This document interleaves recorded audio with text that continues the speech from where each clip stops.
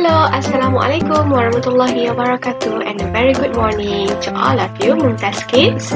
Okay, Alhamdulillah we meet again and you are with me Teacher Izah. Okay, we are going to have craft activity today. Since we are in the month of September, okay, the theme for this month is transportation.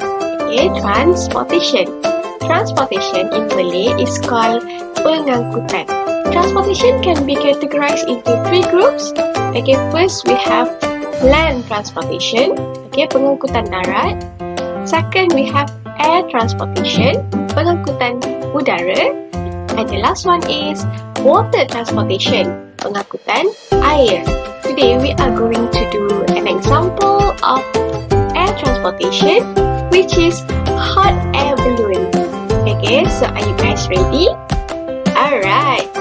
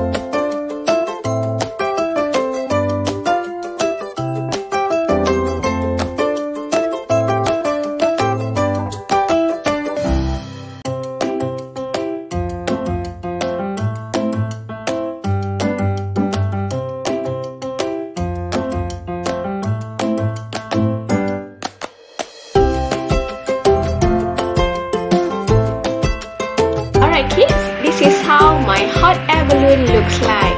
We are done making paper plate hot air balloon. Okay, now let's recap all of the steps that we have done. Okay, to make this cute hot air balloon. First step is, we have glued the two pieces of paper plate together. Okay, and put it aside to let it dry. Okay, second step is, we have cut the plastic pieces for decoration. Okay, following the shapes of the flowers. It's up to you how you want to cut it. Third step is we make holes at the bottom of the paper plate and also holes at the side of the paper cup. The fourth step is we have to tie the two pieces of string at both ends of the paper plate and also the paper cup. A very simple activity we had today. Okay, we are making paper plate hot air balloon and this is how it looks like. Alright kids, in order to make your paper plate stand like this, okay, I put my bottle of perfume inside the paper cup.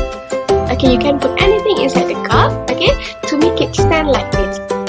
Please ask help from your parents or siblings, okay, especially when you need to cut plastic pieces. And if you have difficulties in tying the string, okay, please ask help from them. Okay, they know how to do it. And one more thing, don't forget snap a photo of your paper plate hot air balloon and send it to your teachers. Okay, that's all for today's activity. Enjoy your hot air balloon once again. And I shall see you on next Wednesday for art and craft class, inshallah. Alright kids, take care.